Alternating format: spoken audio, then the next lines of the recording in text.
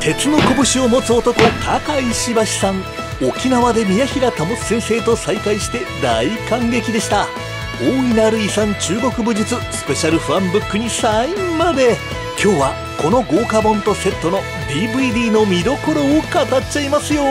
あのいちいちこれ全部ちゃんとかけてもらう技をかけてもらってあの悲鳴、まあ、悲鳴上げちゃいますよね、うん、でそれをちゃんとあの中野先生が解説を後でしてくれてるっていちいち。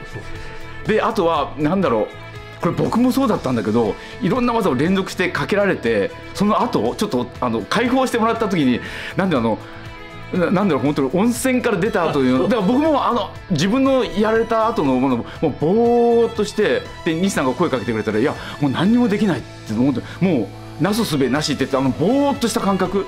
なんで湯あたりしちゃった感覚じゃないんだけどあれをだから中野先生はあのうわって言って整いましたって言ってんのね。何それみたいだと思ったけど でも分かりましたよ。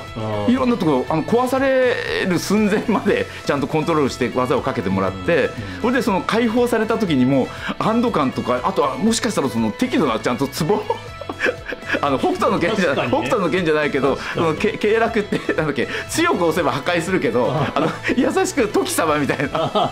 優しく押すなんていうのあのその免疫効果を高めてくれたりとかその治してくれるって言ってたじゃないですか。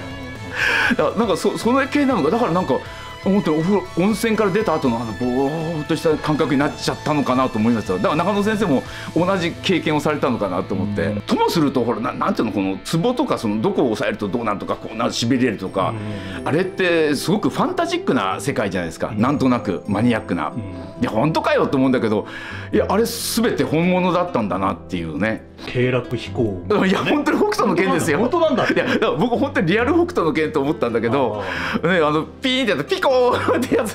そうそうそうそうあれやるとうーってね安倍氏とかタオバーとかなっちゃうようなあの痛みですよ本当に。あの痛みを中野先生があのなんだっけ火を沸かしたところにお湯をかけただけ。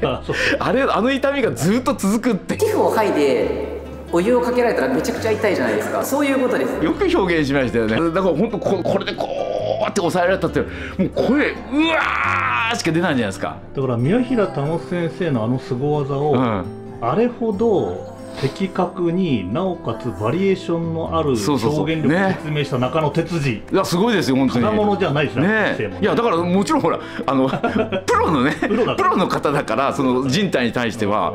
であとはそのななんで技がかかるかとか、でこれ以上やれたらどうなっちゃうかっていうの全部ほらあのまあご存知なのでそのより恐ろしさがおそらく分かるっていう。うんいやすごい。あとはなんだっけ？あ八木先生のコーナーだ。あのほら目目つき目つぶし？あれの時にななんだっけ？ごめんなさい忘れちゃったけど手をパパンって取って普通だったらこう目こっちを目にポンって入れるんだけど、あれ相手の目をこっちに持ってくるっていうのが、あれがものすごいなんていうの？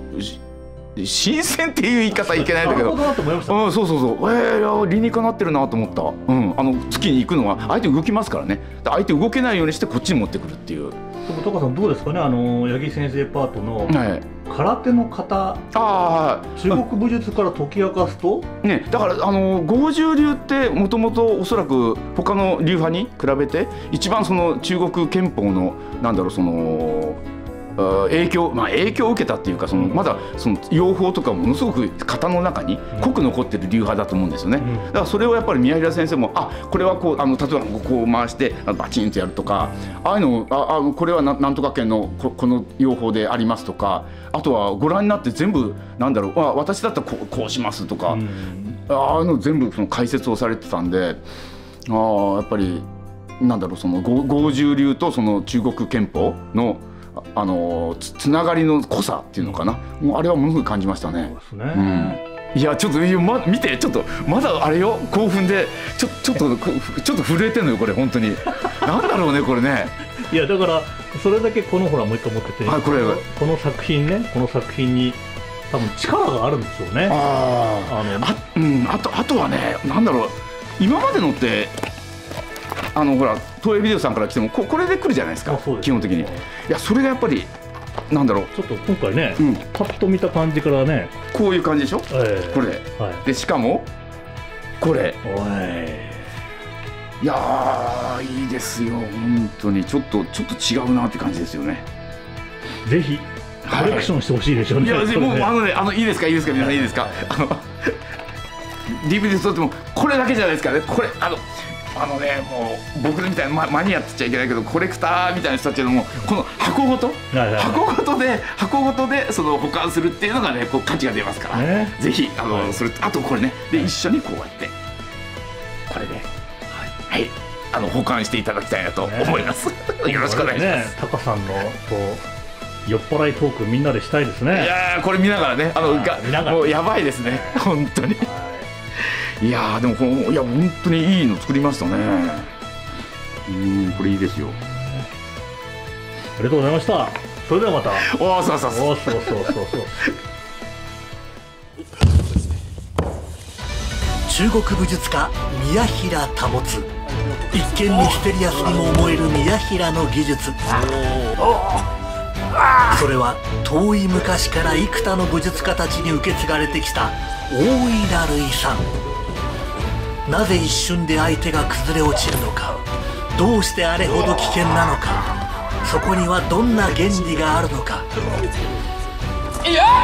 態道の指導者であり柔道整復師でもある中野哲司が人体という観点から迫る。沖縄合十流空手の継承者八木昭史とは伝統空手の立場から検証する。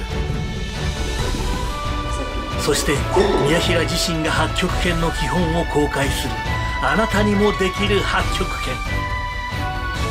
ここにくぼみが出る、このスタ地点で崩したんですけど。この点に関節や急所で相手を崩す。陳那の奥深き世界。宮平保の技術にあらゆる角度から迫る。大いなる遺産中国武術。4月29日天行県中国武術館の東京セミナーが決定。女性限定の護身クラスもあります。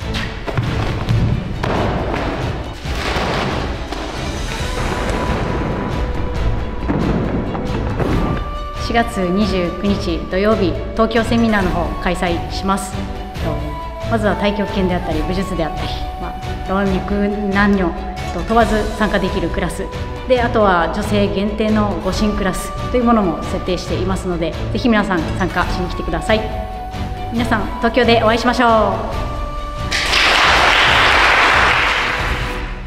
4月29日天行県中国武術館の東京セミナーが決定。